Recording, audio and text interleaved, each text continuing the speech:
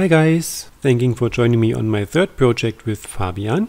This time it will be an oil painting from the beginning until the end and no other mediums were applied this time. This project is done on a 50 by 70 centimeter canvas board, not extra primed or anything, just unwrapped and ready to go. I made my outline as I do usual and I started with the background. Normally I do not really know how to end up with the background, especially if it's a portrait. So I for this moment decided to go for a blue which I will not like in the end and change later on. You will see how I do this.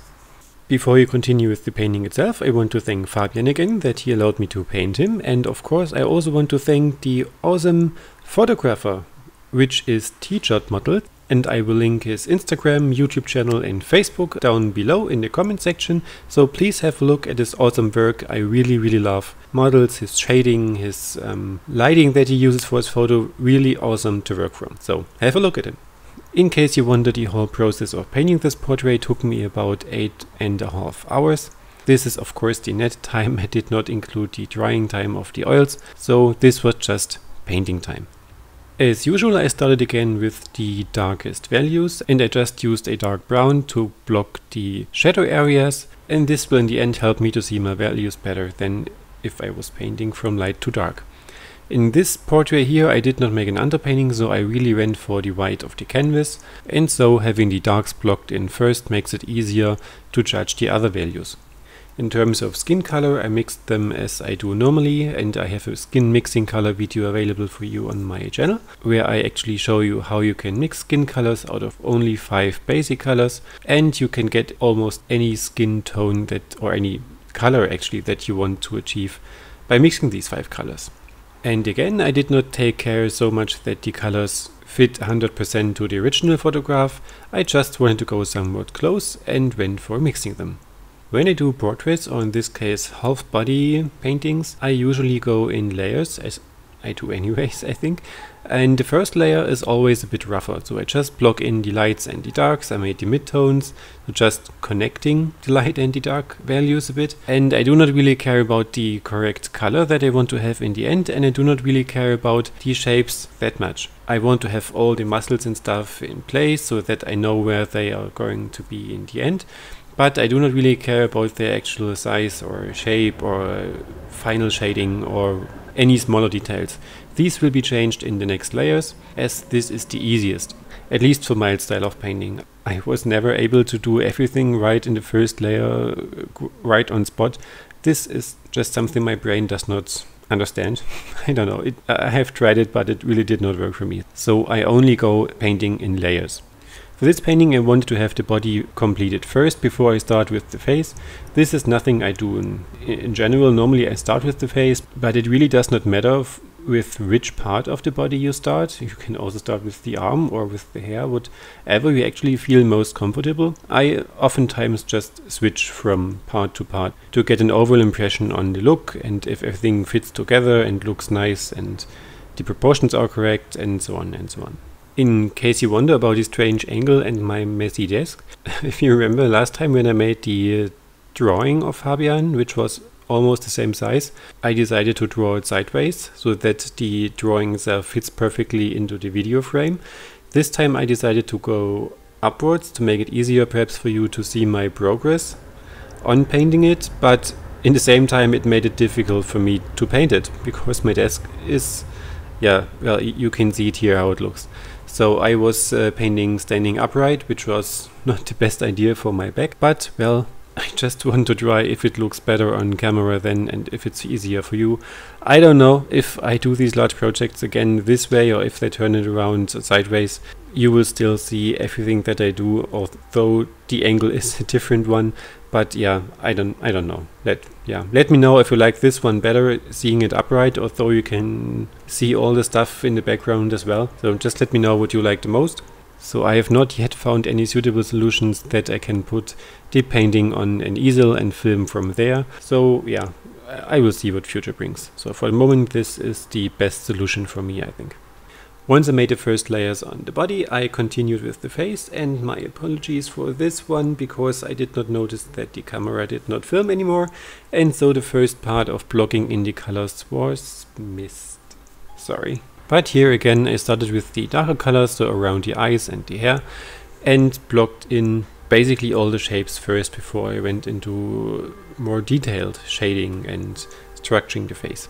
And the first layers will also look strange. So they will not really look like the end product and will look in a way a bit ugly and unfinished and the colors are off and the proportions may not fit correctly. So this is just normal and each painting has these stages. So if you are in one of these stages, just relax, it will turn out better once you have added the next layers. Once I had blocked in all the colors of my painting, I just decided that the background color looks awful. So this was just some kind of baby blue, which did not really fit and it was boring as it just was solid color um, with a bit of a color shift to a lighter version yes but in in a way it looked just boring and it did not fit and I did not like it. So I want to change it. So I decided to use my masking fluid to apply it over the at this time dried painting but it really did not work that well. I really expected it to not work that well because the oil painting is and the masking fluid itself is water based so this in general do not work together that well. And as expected the masking fluid clumped in a way together and created small lakes of uh, masking fluid and it really did not make an even surface so I had to apply several layers of the masking fluid just to get an even coverage of the areas that I wanted to protect and as this was too time consuming I we decided to use my artist tape instead. And I used the cutting knife to cut around these areas where the masking tape or artist tape was not able to go correctly in shape, so could not follow the shape that I wanted to protect. So when this was done, I started changing the background and I wanted to keep the blue in a way, but I did not want to keep it as solid blue as it was before. And so I decided to go for the same background structure as I did for the Simon painting that you might have seen on my channel as well as I in a way liked it. And it just is a in a way muted background. It's nothing disturbing but it's not just a solid color. So it has some structure. It is yeah, for me itself, it just feels a bit better than just one solid color. So it is easy to do. It is just some color, a lot of Liquin to make it dry quicker and to make the brush strokes more visible in this one. And yeah, it just took me about, I think, 15 minutes or so to redo the entire background. And it took until the next day, until everything was right and it could continue with the painting itself. So when the color was added, I instantly removed the artist tape and the masking fluid as you do not really want to let it dry and remove it then. If you do so, you risk that you rip your color apart as well. So when you remove the masking tape and the color is dry, it is some kind of leathery surface and if you pull the tape or the masking fluid off, you just risk ripping your color off as well. So I found it works best if you just remove everything as long as the applied color is still wet.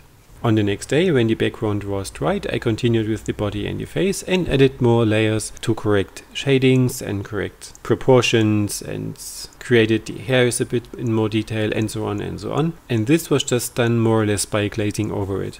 So just using very small amounts of color to tint the color that is actually already on the canvas or use some color with a bit more Liquin to make a coat of a glaze over it. And this just tints the color, makes corrections to the values that are already on the painting. And this, I think, for myself is the easiest way to correct things. It is a bit like uh, applying makeup. So in case you know how to apply makeup, this is perhaps a good comparison for you to go over it. In case you wonder how I did the freckles, you might not be able to see it in the video that good. This is just the color that I want to use for the freckles and a liner brush and I made some small dots on the nose and his cheeks. If I just had made little dots with my uh, freckle color, these would have looked a bit strange because they would have had defined lines, which does not look natural. So I decided to just use my finger, pushed it into it and spread the color around a bit on his nose and his cheeks and I did this in a couple of layers to make it look more realistically and so I created the look as if there were freckles in the skin and to make it look as if they were within the skin and not on top of the skin. This is something important because oftentimes when you make the freckles and the color is too dominant compared to the skin color, they look a bit, yeah, strange, not, not realistically. So you must try to embed them a bit within the skin color. And the further I went into detailing, I used the smaller and smaller brushes for details, especially in the eyes and the eyelashes and highlights in the hairs and such. And the hairs in general, I normally do from the darkest value first, so I just block in the darkest value. And then once this one is dry, I go for the next lighter value, let it dry, next lighter value, let it dry, and I glaze these layers. So actually I use the lighter color, add Liquin to it, use a liner brush and draw the hairs and the highlights. This for now seems to be the best working version for me and I like the look of it. So as this was the last painting on drawing that I did for him of his pictures, I finished them up, packaged them and sent them over to him and he was really happy about them. He featured me on his Instagram page and thanked me for them and this was awesome.